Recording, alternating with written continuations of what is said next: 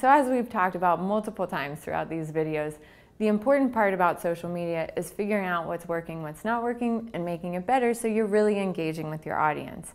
The way you can do that is by taking a look at analytics. There are a lot of great tools in Hootsuite, and there are other ways to bring in the analytics from these other social media outlets. So we're going to get into that now. So now we're back to our Hootsuite dashboard and you're ready to check out your analytics. Where you can do that is over in this left menu bar, click on analytics and that takes you into this report section. Now some of these are free and some you have to pay for. I'm going to show you the free ones. So we'll start by coming up here to quick analytics. Now this is where you'll see the analytics that they're already creating for you. When you see this Owly, what that means, that's the uh, when you go up here and compose a message and you add a link and it shortens the link, Owly is the extension at the end of it. So when you see Owly anything, it's referring to the links that you create when you compose a message. So when we're looking at our Owly summary stats, that means for all these messages that I've created, these are the summary stats for the links that I've been putting out through my composed messages. So for example, the one we've got coming up here, I can adjust my date range, let's say the last seven days, and choose which profile I want to apply it to. And now it's giving me the statistics uh, based on the number of clicks on those links I created, the Owly links. So whether I created a, a link from you know, Forbes.com or Yahoo.com or my own website, it's going to call it an Owly link because that's what it turns it into when I compose that message. So I can see a link I put out on the third had four clicks, one had two clicks here, one had six clicks here. You can also come down here and see clicks by region.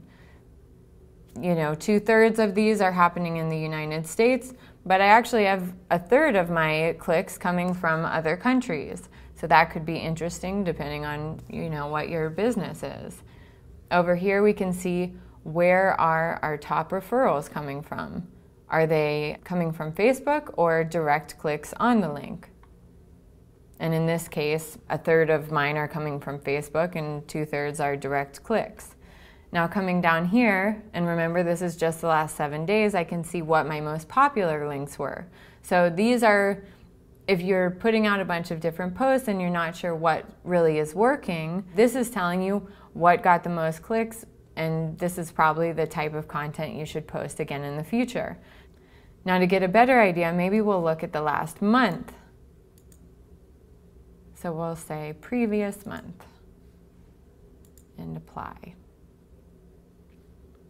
And now when you're looking at this graph, you can see something I did here really worked well. Whatever I put out on this date was significantly more popular than what I was doing the whole rest of the month. We had 19 clicks and 18 clicks. So let's go down here and see what that was. And it looks like it was one of our blog posts. So, or actually two of them.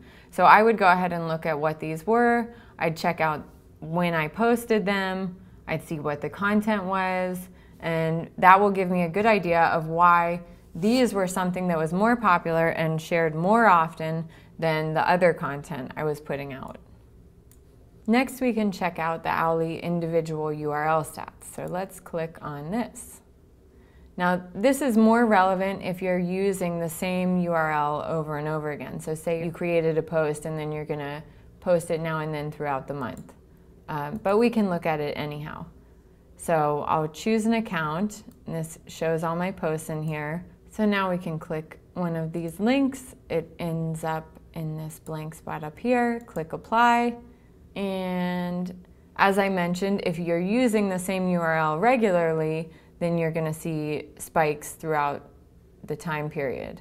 Um, or if you have something and people are sharing it, you might end up seeing it in multiple spikes as other people share it with a large network.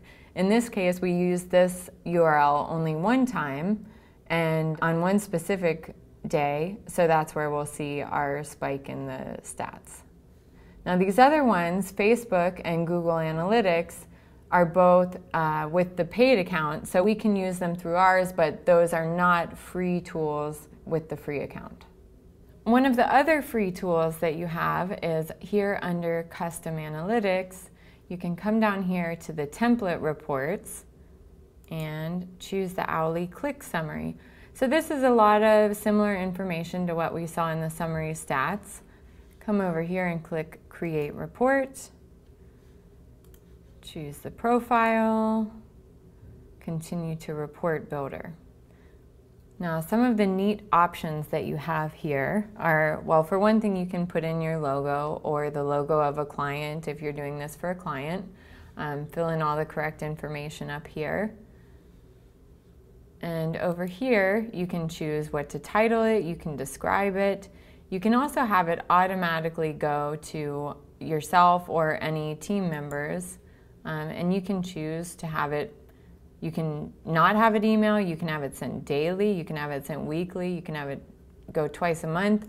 But this is a nice way where you don't have to log in and create this report every time. It's just going to automatically come right to you once you set it up. Now, with adding these modules, these most of them uh, cost points, and the points actually cost money. So you can buy points to go into your account to add some of these extras if you want to. Uh, but this is the one that comes for free and you've got it generally here and you just click create report and that's it. So now it sends you back to this screen. You come up to all reports and here it'll have some of the reports that you created. This is the one I just made. You can click on it and view it here. You also have options up here of labeling, sharing. You can export as a PDF or a CSV. You can print it, and there are more actions here. You can edit, duplicate, delete. So those are some simple free tools. Um, a few other free analytics options are and we didn't discuss too much about uh, Constant Contact or MailChimp, but those are two apps that you can add into your stream. So if you come back here, go to your streams. So you can upload the MailChimp app, and then your analytics from any of your mail campaigns will show up here in your streams. So this is a MailChimp example or the constant contact ones can also come in here. You can take a look at the analytics on whatever your recent emails were. You can see who opened them all right here in Hootsuite. So those are a few other free options uh, where you can add an app and use the analytics within the uh, program. Now we can take a look at some of the options that you have with a paid account and where analytics can help you there. So we're back at the analytics home screen. We'll come up here to quick analytics. And the Facebook and Google are two tools that are available with a paid account. So we're going to click on Facebook Insights. We'll take a look at one of these accounts and see what type of information it gives us. So you get your snapshot here, daily feedback. This is giving you metrics per post. Um, so you can take a look at how many people are talking about it, engaged users, the overall reach. This is even telling you what type of post it was. If it was a photo, if it was a status update, were you providing a link? So that can be really helpful as well. And this is actually the top 10 posts that we're seeing here. Additionally, you can see what area most of your uh, likes were in. You can also see likes by demographics. Are you reaching the, you know, what's your target age range? Are you reaching 25 to 34? Are you popular with 65 plus? That matters. So this is a place where you can take a look at that. You can also see how big is your female audience? How big is your male audience? So now you can see your likes and your unlikes. And as we mentioned earlier, checking out those unlikes is important as well. And if you're getting a lot of unlikes, it could be that something that you're posting is offensive or just doesn't resonate with your audience. You can choose to take that off or show it. Same with the likes. Down here, you can see the language of your audience. You can see the source of most of these. And you can also download these reports. So as a PDF, CSV, you can print, and you can also customize this report. And finally, we have Google Analytics up here. This is one of the paid tools, and you can just hook it up to your analytics account. This one, we can come on down, we can choose the date range. I'm going to choose the last 14 days, click apply. And another really cool uh, thing we've got here is if you have a Twitter account going along with whatever Google Analytics account, you can choose to see your tweets overlaid with the traffic to your site, which is really neat because you can figure out where the tweets correlate with more traffic to your site and um, you know even if a, a tweet is getting a lot of likes or attention maybe it's not really translating into traffic to your site so this is a, a neat way to see what's really working and actually driving traffic this is just general site overview it's the same information you're going to find in your Google Analytics account just right here in Hootsuite. So map, traffic sources, all that kind of stuff. What pages are getting the most views, um, how many views, that general type of information. And again, you can customize, print, or export this report. So just like the free accounts, you can also come down and do the custom analytics and create reports that you can download. Uh, they're similar right here, um, just about the same type of functionality.